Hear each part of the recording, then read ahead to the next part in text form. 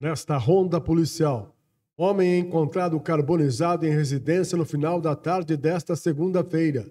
O lugar tem sido habitado por moradores de área livre. Um deles começou a fazer o almoço e saiu. Um companheiro dormia e não acordou com o incêndio. Ainda são desconhecidas as causas de um incêndio ocorrido em uma residência no município de Bitinga, 74 quilômetros de Araraquara, nesta segunda-feira, final da tarde. Um homem foi encontrado carbonizado no interior da casa pelos homens do Corpo de Bombeiros.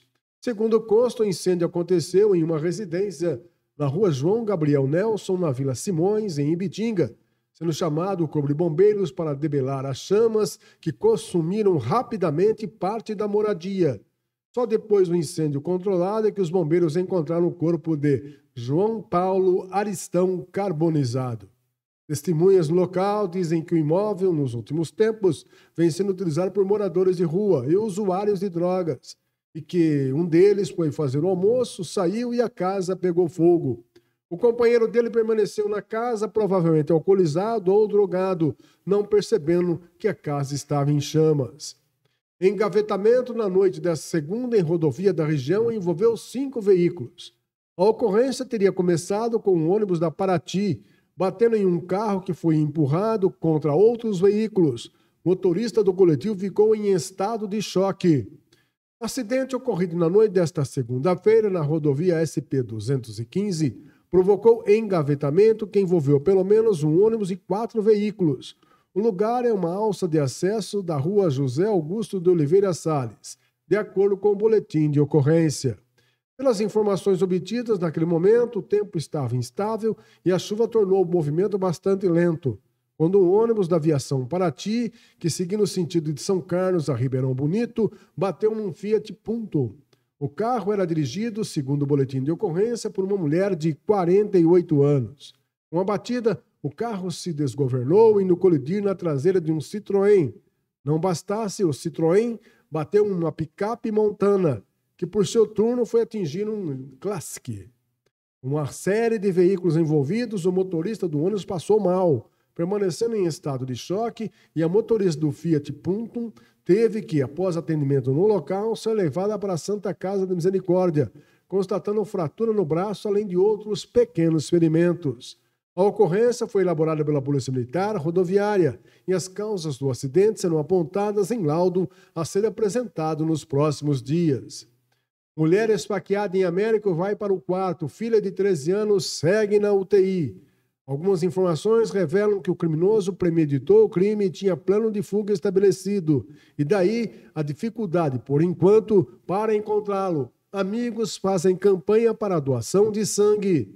A Santa Casa de Araraquara confirmou na segunda-feira que a mulher de 32 anos, vítima de uma tentativa de feminicídio na sexta-feira, no último dia 14, foi transferida da UTI, unidade de terapia intensiva do hospital, para um quarto, onde, segundo consta, sua recuperação, embora aparentemente lenta, permitiu essa transferência.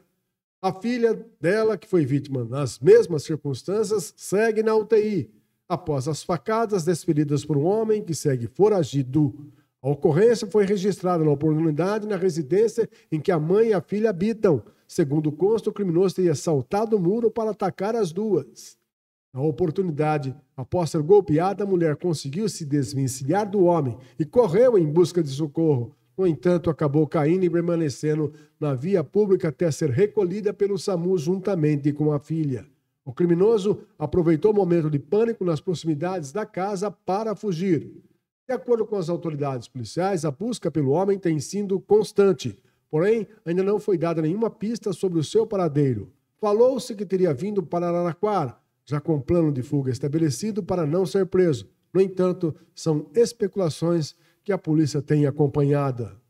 Pelas redes sociais, amigos estão fazendo uma campanha para a doação de sangue. Pode ser feita a doação de qualquer tipo de sangue, devendo os doadores comparecerem no hemonúcleo de Araraquara, na Unesp, localizado na Avenida da Saudade, número 58. O horário de funcionamento é das 7 às 11 horas e 30 minutos e das 14 às 16 horas. Os pacientes Natália Fernanda Bonani, que está no Hospital São Paulo, e Marcela de Fátima Teixeira, que está internada na Santa Casa.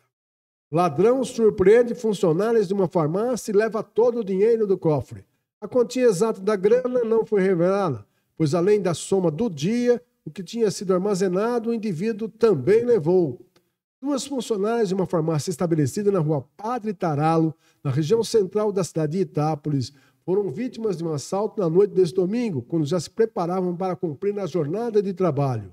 As duas mulheres de 19 e 32 anos, após o fechamento do caixa diário da farmácia econômica, saíram do local para guardar o dinheiro em um cofre que fica numa área contígua. E justamente quando abriram o cofre, inesperadamente surgiu no local um homem de aproximadamente 1,70m, de cor parda, magro, trajando um moletom cinza, calça na cor preta, com touca preta e máscara facial na cor cinza.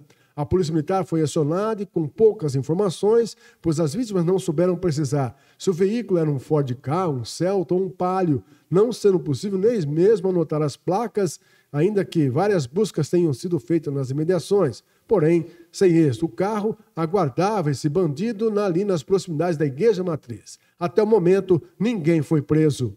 Agora, a Polícia Civil vai investigar o caso e também tentar com possíveis imagens de câmeras instaladas em alguns estabelecimentos comerciais das proximidades do local, onde o ladrão praticou o assalto, e também do veículo utilizado na fuga. Esses foram os informes da ROM da Policial.